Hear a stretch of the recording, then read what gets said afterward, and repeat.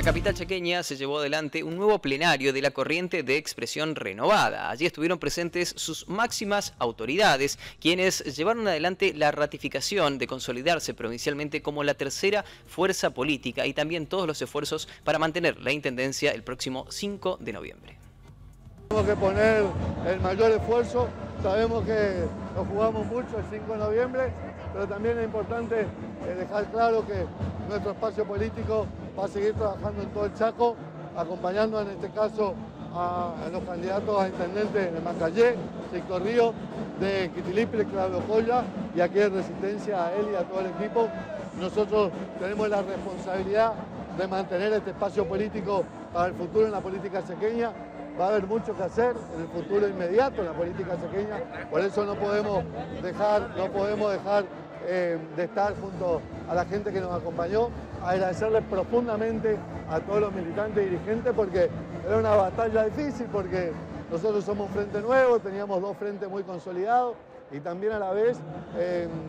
eh, estamos convencidos de que todos los candidatos a intendentes a concejales de todo el Chaco hicieron lo máximo para poder mantener este espacio vigente, así que estamos agradecidos de corazón. Si hay algo que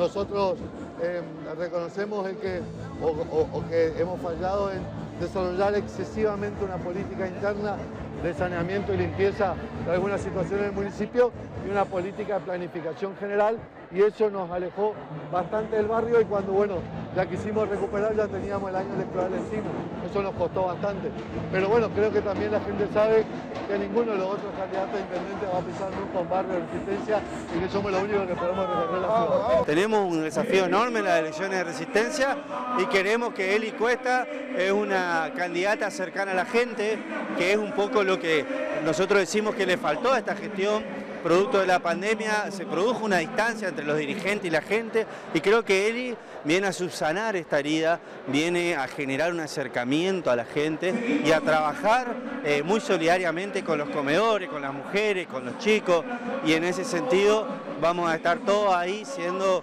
eh, trabajadores de la transformación que Resistencia necesita y también grandes militantes de la campaña. Creemos que para Resistencia hace falta que sigamos transformando como lo venimos haciendo. Todavía sabemos también lo que nos hace falta y lo que todavía tenemos que mejorar. Por lo importante es que hemos transformado muchas cuestiones institucionales del municipio, cosa que nunca se animaron y pasaron muchísimos intendentes y muchísimos años. Nosotros hemos hecho cambios profundos que en los próximos años se van a ver la transformación y para eso creemos que es importante darle continuidad política a esta misma visión que hemos construido entre todos los ciudadanos y ciudadanas de Resistencia.